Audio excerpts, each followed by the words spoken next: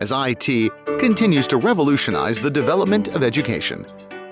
China has stressed the importance of education informatization in its 2011-2020 education plan.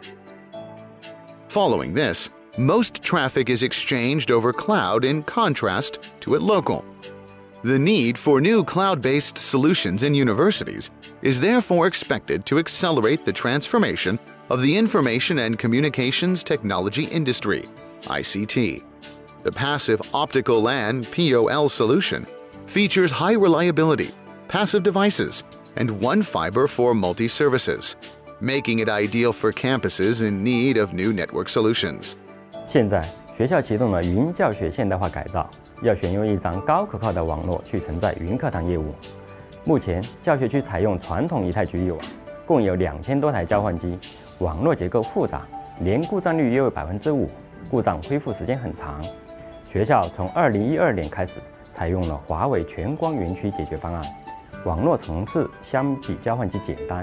经过与传统网络对比，华为全光园区网络故障率低，易维护。网络安全性高，保证网络丢包率小于万分之一，往返时延小于三十毫秒，满足云教学对网络性能的要求。Under Huawei's Agile POL solution, the converged OLT platform serves as the access device for multiple services. On the Optical Distribution Network, ODN, ODN devices are deployed and fibers replace traditional network cables. ONU providing important services such as internet access, Wi-Fi, and TV.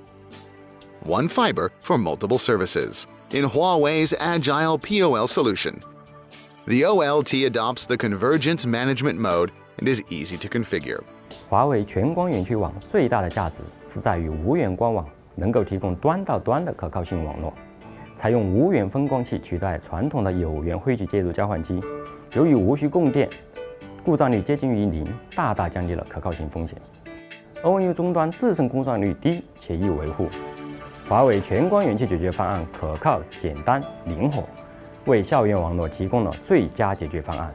在使用了华为全光园区网络的解决方案以后，用户体验和满意度得到了提升，同时降低了网络运维的成本。我们期待和华为有更多的合作机会。